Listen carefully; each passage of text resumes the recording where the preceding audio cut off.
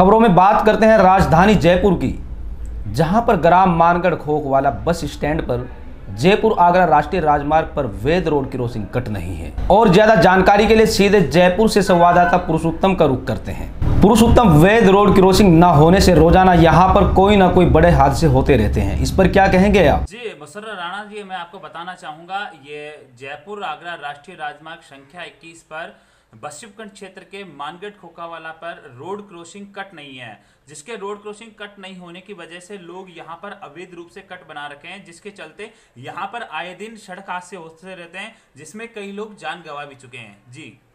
पुरुषोत्तम police record के अनुसार 2007 से लेकर 2019 तक के आंकड़े अगर देखे जाएँ यहाँ के तो 55 दुर्घटनाएँ हो चुकी हैं जिसमें 25 लोग अपनी जान भी गंवा चुके हैं। इस पर क्या कहेंगे?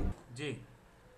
राणा जी मैं आपको बताना चाहूँगा 2005 से पहले जयपुर आगरा राष्ट्रीय राजमार्ग संख्या के दो, दो लाइन ही था। 2005 के बाद में इसको फोर लाइन कन्वर्ट कर दिया गया जिससे बीच में डिवाइडर हो जाने की वजह से एक रोड से दूसरी रोड के पास जाने के लिए रोड क्रॉसिंग कट होना ज़रूरी है। लेकिन 2005 के बाद में यहाँ पर वेद कट नहीं होने की वजह से ग्रामीणों व स्थानीय निवासियों ने यहाँ पर अवैध रूप से कट बना लिया जिससे पुलिस रिकॉर्ड के अनुसार यहाँ पर 55 सड़क दुर्घटनाएँ हो चुकी है जिसमें करीब 25 लोगों की मौत व 35 से लोग ज़्यादा घायल हुए इसके अलावा मैं राणा जी आपको और बताना चाहूँगा कि करीब सैकड़ों सड़क हादसे ऐसे भी है जहाँ पर उनका पुलिस रिकॉर्ड दर्ज नहीं है, क्योंकि सड़क हादसे हो जाने की वजह से या तो उनके परिजन उनको ले जाते हैं या ग्रामीण उनको अस्पताल पहुँचा देते हैं, जिसके बाद छोटी मोटी चोट के बाद भी वो थाने पर नहीं पहुँच पाते और अपना मुकदमा दर्ज नहीं करवा पाते हैं। पुरुषोत्तम कई बार अधिकारियों का यहाँ पर दौरा हो चुका है, लेकिन इसका कोई समाधान नहीं निकाल पाए। इस पर क्या कहेंगे आप?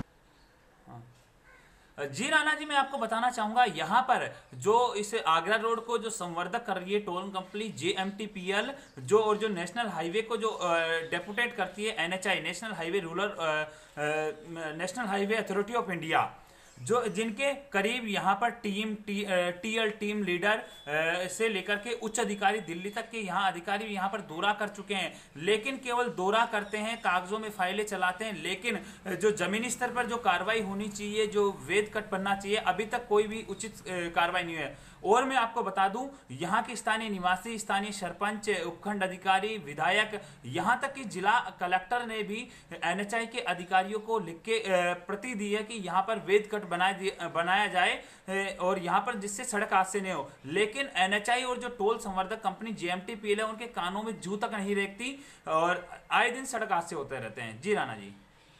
शुक्रिया पुरुषोत्तम, तमाम जानकारी साझा करने के लिए।